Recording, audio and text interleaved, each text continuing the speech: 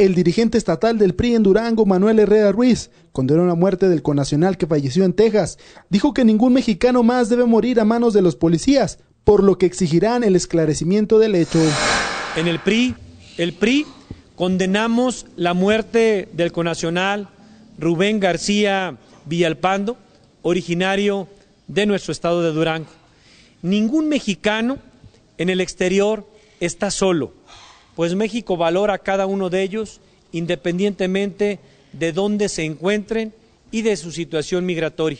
Se trata de un hecho que nos indigna, que nos molesta como mexicanos por el abuso de la fuerza letal contra un ser humano. Ningún conacional más debe de morir a manos de elementos de policías como esta de Estados Unidos. Debemos alzar la voz y demandar que se detenga el uso de la violencia excesiva por parte de las autoridades. No permitiremos ni un abuso ni una violación de los derechos humanos de ningún ser humano en el mundo. Por eso Durango es ejemplo en una constitución de vanguardia en el tema de derechos humanos. Y esa constitución se tuvo a bien hacer la pasada legislatura a iniciativa del gobernador Jorge Herrera Caldera.